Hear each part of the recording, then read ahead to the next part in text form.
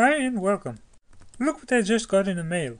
The PCBs for the Serial Mouse Blaster, an awesome PCB that converts a USB optical mouse into serial. The PCB implements the circuit of this prototype board in a much smaller space that fits inside the mouse. This video is the second part in the series.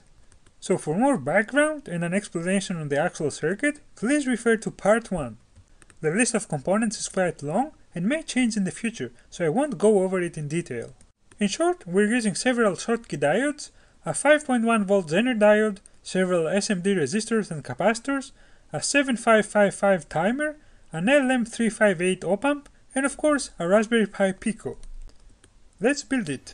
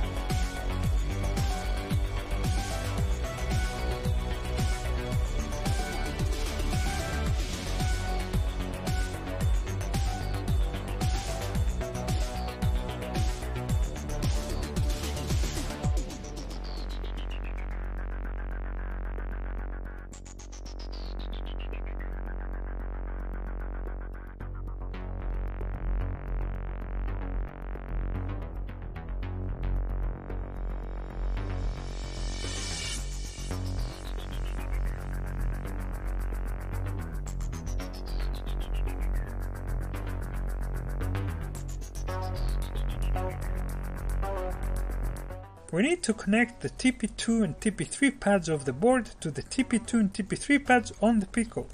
These carry the USB signals that are also connected to the Pico's micro USB.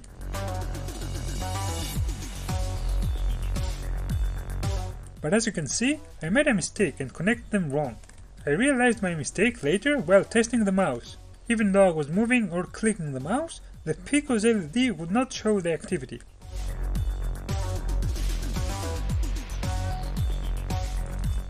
Okay, the board is ready. Now let's try to fit it into the mouse.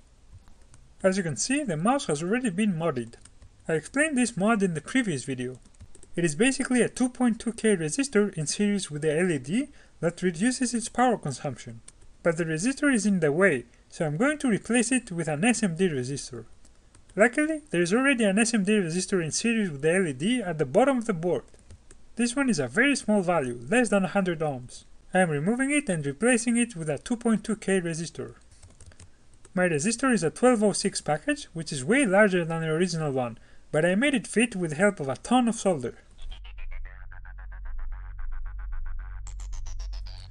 Okay, now there's this plastic thingy that helps push down the mouse PCB. This is in the way, so I'm cutting it off. But even with this removed, the board won't fit. There's just too much space between the Pico and the PCB. We will deal with that later, let's finish the wiring first. I'm cutting the mouse cable to connect the board to the mouse. The original mouse cable contains 4 smaller cables and a ground wire, so a total of 5.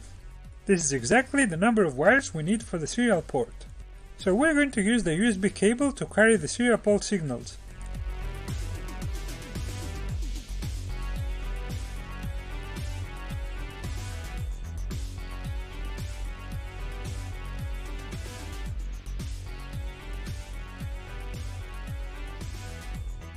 I'm using a cheap serial port connector kit.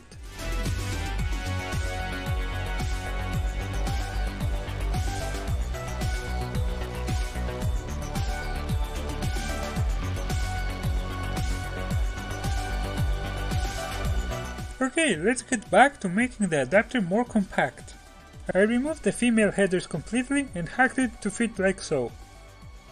I loaded the firmware and placed the board in the mouse off camera. Okay, let's try it out.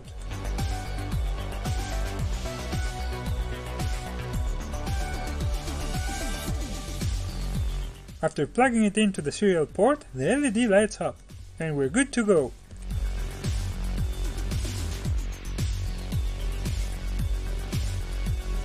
It works great.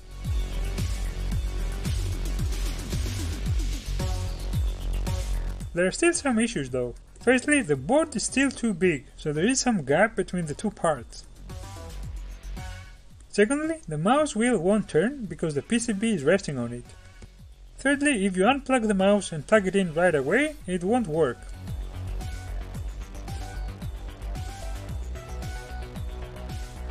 This is because the capacitor that delays the Pico's power on is still charged, so you may need to wait up to a minute until you can plug it in again. The first two issues can be fixed by shrinking down the PCB a bit more by using more SMD components. For a perfect fit, we may eventually need to cut the Pico's PCB a bit shorter. I am not planning to fix the third issue for now, as it would require adding more components which would use more PCB space. I have made both the firmware and the PCB available open source on GitHub. This is revision 0.2, which includes some minor fixes and improvements compared to revision 0.1 that I used in this video. If you find this project interesting, please stay tuned for an updated version of the board. Okay, that's all for now. I hope you enjoyed the video, and as always, thank you for watching and goodbye.